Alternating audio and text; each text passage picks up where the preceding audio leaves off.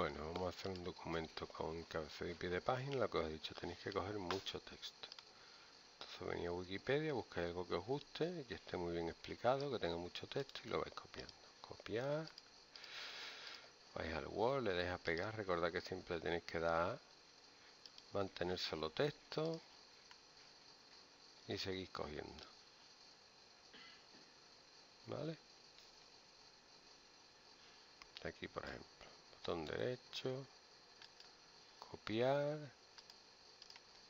y pegar. ¿Vale? Fijaros lo que pone aquí, página 2 de 2, 2151 palabras.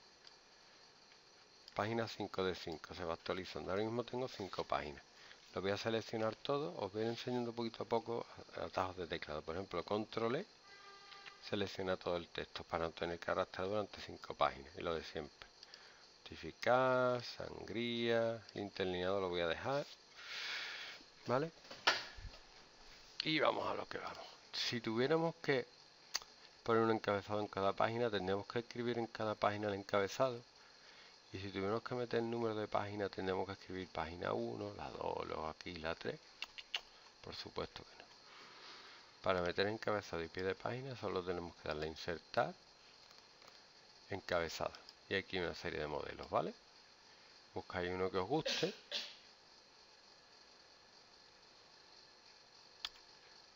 No he puesto otro, pero vamos, en los apuntes lo voy a poner este. Doble clic. Y me sale aquí, título del documento, voy a escribir yo el título. Spiderman. ¿Vale? Fecha, no voy a poner fecha, voy a poner quién la ha hecho. Ponerlo. Luis Cero ¿Vale? Pues nada, es un encabezado chulo. Puedo meter otro si quiero. Aquí en encabezado puedo elegir otro. Que quiero este que es el que he puesto. Pues pongo este y pongo tres textos. Por ejemplo, Spider Man. ¿Qué pasa? Porque no pinta. Porque la letra está blanca. ¿Vale? Cambio el color de la letra. Sale. Le doy a la tecla tabulador. Escribo eh, biografía. Le doy la tecla tabulador. Y escribo eh, mi nombre. ¿Vale? Que tiene que estar por ahí, pero como la letra se ha puesto blanca al poner lo otro.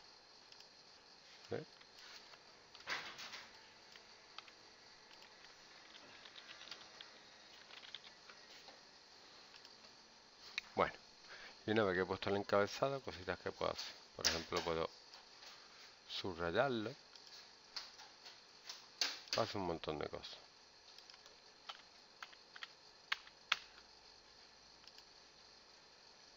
Lo voy a así. Y luego para meter número de página, obviamente no tengo que escribirlo. Le doy insertar, pie de página y ponéis uno que tenga el número, ¿vale? Por ejemplo,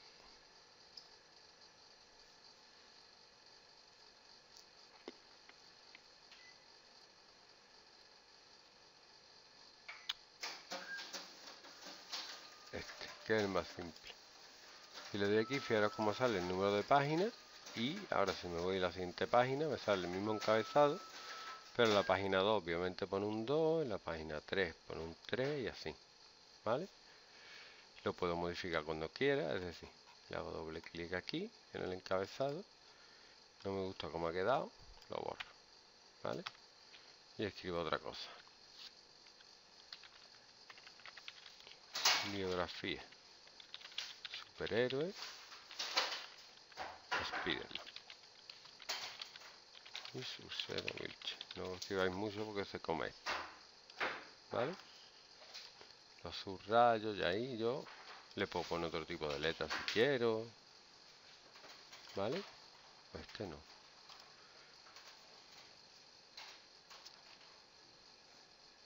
Mira este que chulo.